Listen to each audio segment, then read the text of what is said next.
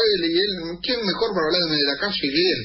Secretario de Relaciones Parlamentarias en este momento, pero un hombre que si algo sabe de la calle y un hombre que si algo sabe de este programa, es mi amigo y el mentor de este programa, el gran Chino Navarro. ¿Cómo andas, Chino? ¿Cómo va?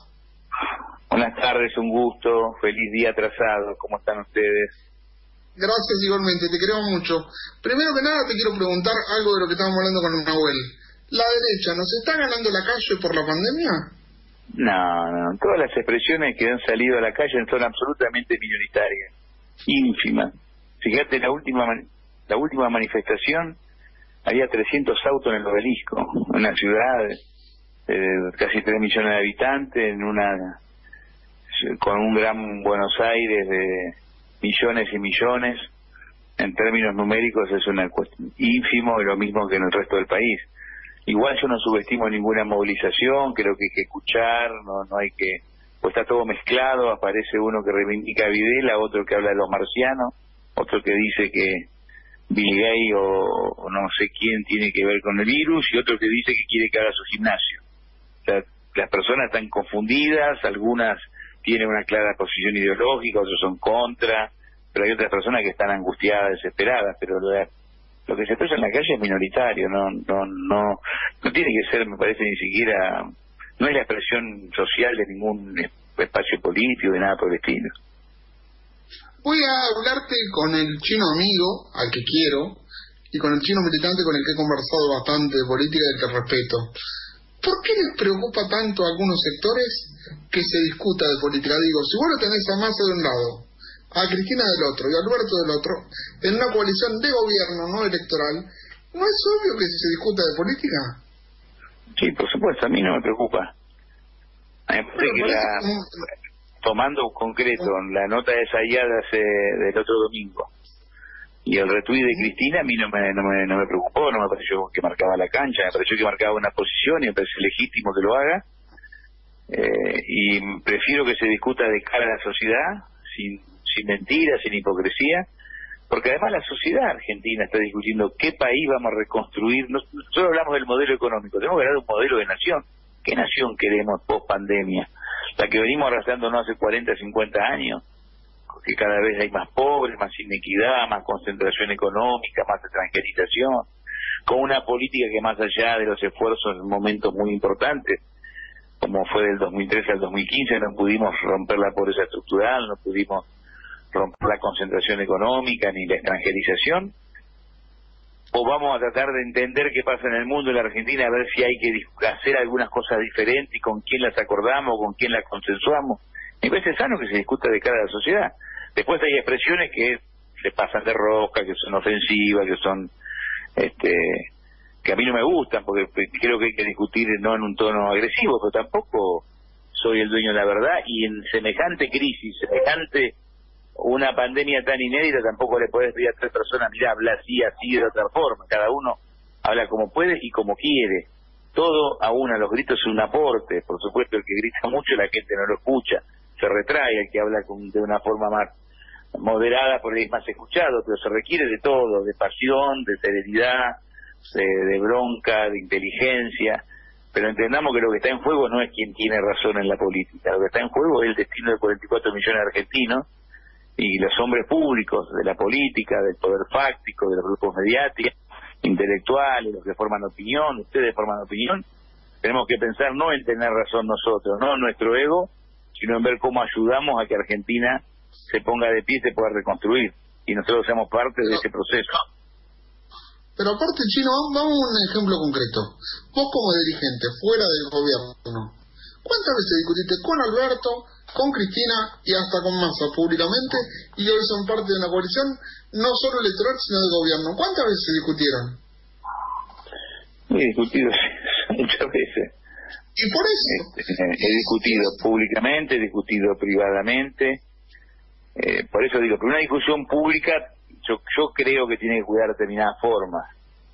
Eh, vos no discutís con tu amigo, con tu señora, con tu socio, con tu compañero de la radio en la calle a los gritos. Creo que discutís en un marco de determinada lógica de convivencia. Por ahí mano a mano, en el estudio con el micrófono apagado, discutís de otra forma. Eso es una hipocresía No, me parece que es cuidar la forma y uno por ahí se desnuda más y esté más apasionado en, en, lo privado, pero lo concreto es que si en esencia vos públicamente decís lo que pensar, aunque lo digas de una forma y después lo ofreces de otra, pero en esencia estés diciendo que es blanco, que es un caballo, que ladra, que es un auto, en cambio si decís que es un heladero y después decís que es un auto íntimamente, está, ahí está falseando la, tu, tu declaración, tu posición, tu, postura política. Pero si decís que es un auto afuera y adentro, eso es lo que vale. Después puede haber matices y puede haber tonos. Somos seres humanos, no somos robots. A donde voy es que digo, la derecha está preocupada porque se discuta política, o sea, tan grave como les molesta la discusión política. Es, es muy importante lo que estoy tratando de marcar porque no es que les molesta la supuesta interna, sino les molesta que se discuta política. Entonces, ¿qué quieren? ¿Gente manipulable? Entonces tengo que pensar que si no les gusta algo, van a intentar eh, ir por un golpe blando. ¿Es posible esto? No, Argentina dice algo consolidado, pero 83 a la fecha, así como yo puedo decir tenemos, tenemos podido resolver la cuestión socioeconómica y hemos retrocedido y que no podemos dar eh, con la seguridad otras cuestiones.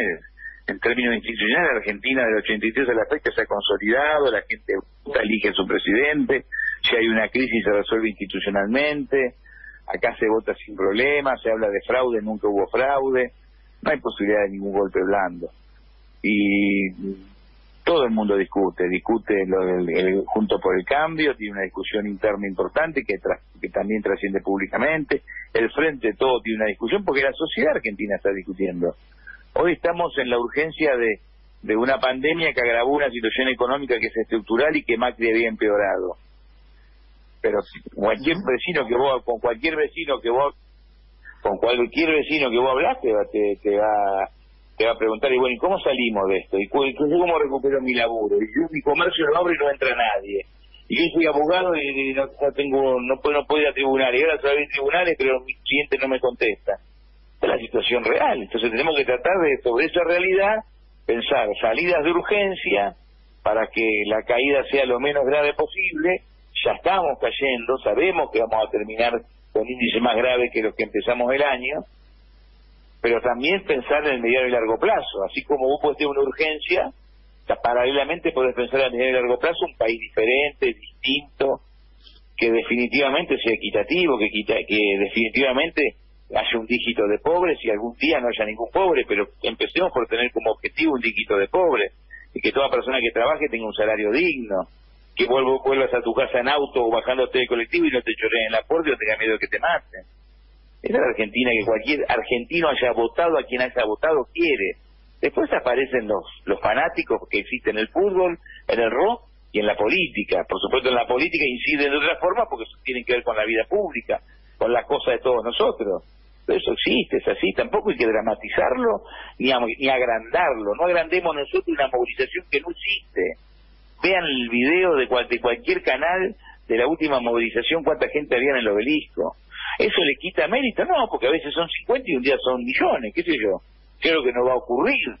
Pero siempre, Caureche mismo contaba, él se paraba en la calle este, Florida a hacer discursos y estaba de Alessandro, lo acompañaba y estaba subido a un cajoncito de, de Cisano solito. No lo escuchaba nadie. Un día el discurso de Caureche fue escuchado, ¿por qué? Porque irrumpió un pueblo. Son procesos que a veces empiezan uno o dos. No es el caso que estoy hablando de, del 9 de julio, porque eso es una, es una movilización que no tiene objetivo, que no tiene base social, que no tiene lógica política y que además eh, es antihistórica, se mezcla todo, te repito, Videla, los platos voladores y quiero abrir mi comercio. Y el que quiera abrir mi comercio yo lo, tengo que escuchar, por más que me putee, porque el tipo que está, está putido. La, la pandemia lo, lo terminó de poner de rodillas, yo tengo que ayudarlo. Además que putee, a que se ponga, de pie, vamos a abrir el comercio por pandemia. ¿Te gustó la foto del 9 de julio? No me molestó para nada, no me molestó. No me molestó.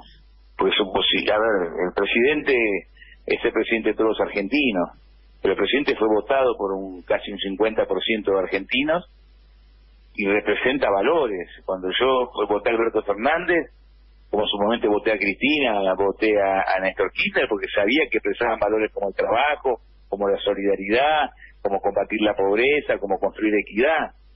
Entonces no, porque no esté un sindicalista más y vaya una organización social, no no lo voy a cuestionar Alberto. Cuando se reúne con las organizaciones sociales, entonces creemos que es para construir la patria piquetera porque no están los demás actores, o se reúne con la CGT porque es presidente de, los empresarios. Me parece que, es una foto. La, política se analiza como una, como una película, no como una foto. ¿Alberto tiene un gobierno con poder? ¿Es un presidente con poder? La política en, en, en democracias como la nuestra le cuesta imponerse a poderes que son muy potentes, que son los poderes fácticos, los grupos económicos. Muchas veces esos grupos económicos han cooptado presidentes votados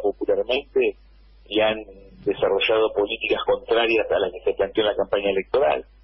Eso se interrumpe abruptamente con Néstor Kirchner y con Cristina, y Alberto no va a ser cooptado. Alberto es un presidente que tiene claro sus objetivos, tiene claro hacia dónde va, pero la democracia y la política para construir un poder y poder resolver lo que Argentina quiere tiene que desarrollar un consenso, tiene que desarrollar un programa, tiene que desarrollar un liderazgo y consenso y, programa y liderazgo además requiere mayoría y estamos en ese proceso.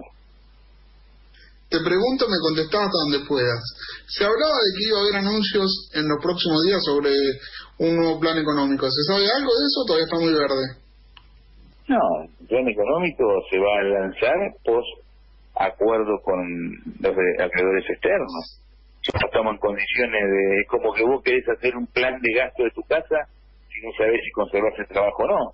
Si conservas el trabajo, puedes hacer un plan de gasto. Si salís a tranquear día a día, gastá lo que podés este, y seguramente debes más de lo que gastás para morfar y para el colectivo y para que tu pibe y tu familia coman el gobierno, mientras está negociando con los acreedores externos y después le queda el cierre con el Fondo Monetario, no puede tener un plan de mediano y largo plazo. Se está preparando, pero hay que esperar. Hay que esperar hasta que se arregle el tema de la deuda, o sea... La deuda y la pandemia. Y la pandemia, porque la pandemia nadie dice que se va a resolver entre dos semanas. Quizá tengamos meses de pandemia tipo serrucho, abriendo y cerrando.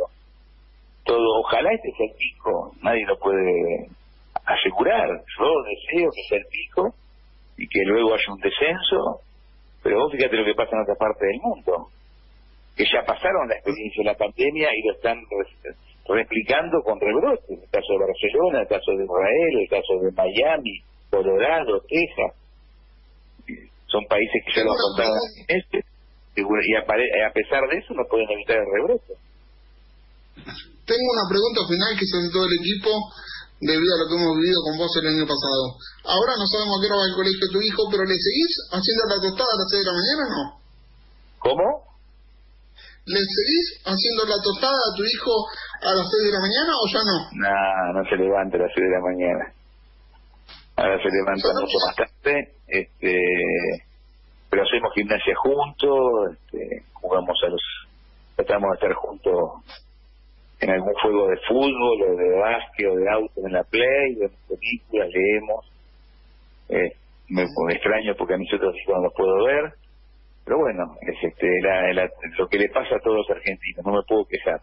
Ahora estoy aislado hasta el 28 porque una persona muy cercana que vos la conocés, Anita, eh, tuvo contagio, este, por suerte está bien, se contagió la semana pasada, está en su casa con dolores y con fiebre, pero recuperándose, no es necesario internarla, así que todos estamos este, aislados hasta el 28. Yo no me quejo, este, hay argentinos que hacen. Si hay héroes en este proceso son el pueblo argentino. Que la mayoría del pueblo, la, ahí sí que la mayoría respetó la cuarentena, se banca la dificultad de las zozobras, un Estado tal y que acompaña, pero que a veces llegamos tarde, que no alcanza. Sin embargo, el pueblo está es el mejor capital que tenemos para post pandemia reconstruir Argentina, nuestro pueblo. Bueno, no, para mí no es mejor manera de cerrar. Cerrar como vos quieras. Para mí con lo que acabas de decir no tengo más nada que agregar. Pero cerrar como vos te parezca. No, un, un gusto hablar con vos. El esfuerzo que, que cuesta hacer este programa es un ejemplo. Eh, un saludo grande para tu audiencia, para tu equipo. Y espero ya eh, cuando salgamos de esta situación de, de cuarentena, poder verte y charlar y abrazarte y, ver de qué forma podemos seguir progresando cada uno en lo que hacemos, siempre pensando en el bien común y en el bienestar, el bienestar de la gente. Yo quiero dejar algo claro, si hay un tipo que labura por la inclusión en este país es Fernando Chino Navarro. Él no lo dice nunca, pero labura siempre para que las personas con discapacidad tengamos la dignidad que nos merecemos y hay que reconocértelo algún día públicamente y yo lo quiero decir. Perdón, sé que no te gusta que hable de esto, pero es la verdad. Conmigo estás a cada paso y eso no lo puedo decir de prácticamente nadie de, en toda la dirigencia política. Así que gracias de corazón por todo lo que has hecho. Gracias a vos, Yo te agradezco a vos y te mando un fuerte abrazo. Te queremos mucho, Chino. Abrazo grande, estamos a la hora. Eh, un placer tenerte.